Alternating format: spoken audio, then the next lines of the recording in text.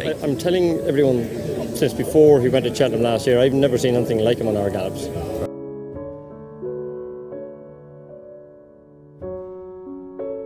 all this, you know, he's going to be very good, all that kind of stuff. And, and but but what we want is real hardcore, just how brilliant you think he is. I mean, as you say, Willie says he could be the best he's ever trained. I think I think he's the best horse we've ever had. Yeah. You think he's the best horse you've ever had, mm-hmm. including the monster fee. Yes. Look, um, you know, Willie's not one to to jump up and down and shout and roar about horses, but he's never ever hidden what, how, what kind of regard he holds this fella in. Um, you know, he does everything so easily at home. Um, he's a brilliant workhorse. The, the, the gears he shows, he's a great mentality, and um, you know, he's so clever to jump. He, he makes hurdles, he makes fences feel like you're jumping hurdles. Um, he only ever lifts his shoulders and his front end, his back end stays very straight and flat, and he doesn't waste any time in the air. Um, but he just has a has a huge, huge amount of natural ability.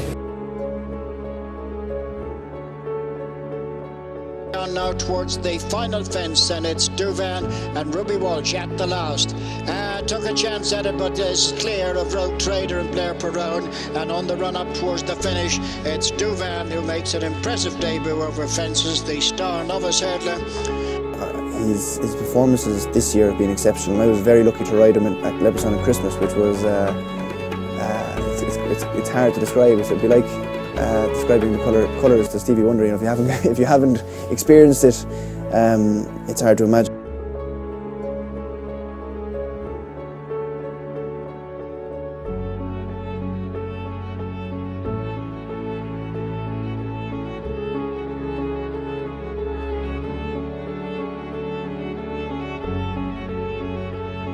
In, it's Douvan and Ruby Walsh has just had a look back and he's going right away now from Velvet Maker.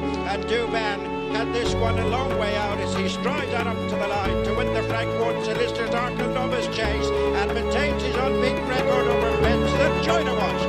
And round the inside of Vaniteux as they approach the second last. Douvan long and quick, and Vaniteux is gone Baltimore Rock. The game changer slightly hampered. Douvan clear at the last and over. Not his best jump, but he surely got it won.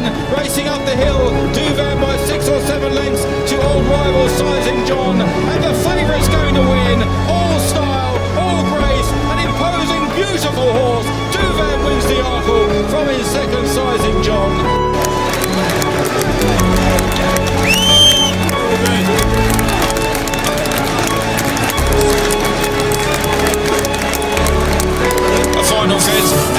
Just skips over. And Douvan is nicely clear and coming home on the bridle. A cracking horse, this really good looking chaser, a real star of the future. A matinee idol of a horse is Douvan that wins. From in second, the game changer. They're a long way clear of Fox Norton in third, Ballybolly. That was some experience. Um, I was doing a half speed everywhere. Um, he had a little look down between the last two. I gave him a squeeze, and I've never felt that and pick up like me. What, what is it? What is it that makes him feel so different? I think it's just so much natural ability. Um, and for a big horse, he's, he's really clever, you know. Um, Yeah, what a privilege to see an equine machine like Douvan. 14 lengths. We just do not know how good this horse is.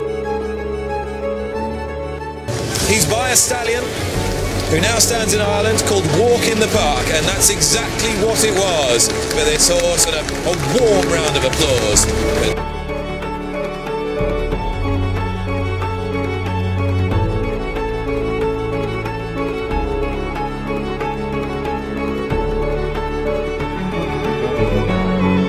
It's Douvan yet to come out of a high canter, being chased in second by Sizing John. The game changer is trying to get to them now. Baltimore Rock is ridden there clear from Debob, heading to make their way towards the second last, and it's Douvan still taking Ruby along comfortably as they head towards it from Sizing John and the game changer trying to stack up on the outside. They're being followed by Baltimore Rock. One fence left to jump, and it's Douvan who has the advantage. Now the game changer has come under pressure. They've all come under pressure. Everything that's met him this season has come under pressure over the final fence and up towards the line. So many have tried this week, so many have failed. Aintree and Punchestown Douvan delivers different class. He exits his novice season as impressive as he came into it. It's off into Grade 1 company now, an open company. all over uh, the champion chaser if you ever saw one. He's got the pace. He jumps like a champion chaser as well too. He clips the top of them each time. He's quick. He doesn't delay in the air. And uh, what an exciting horse he is. Willie said beforehand he might be the best horse he's trained. But he's some horse. He's, uh, he's he could, he, you know, it's a trite thing in racing, and I hate saying it all the time. He could be anything, but he really could be. He is something else. Held this horse in an incredible regard. I mean, the superlatives you come out with about him that you just haven't come out with about any other horses, and obviously you still feel very much the same way. I do. I mean, you, you saw the way he finished there today. That's what he does every day at home, and that's with Gail riding him against any sort of opposition. He just canters up there, and when he wants to quicken away from one, he just quickens away. He's incredible to watch.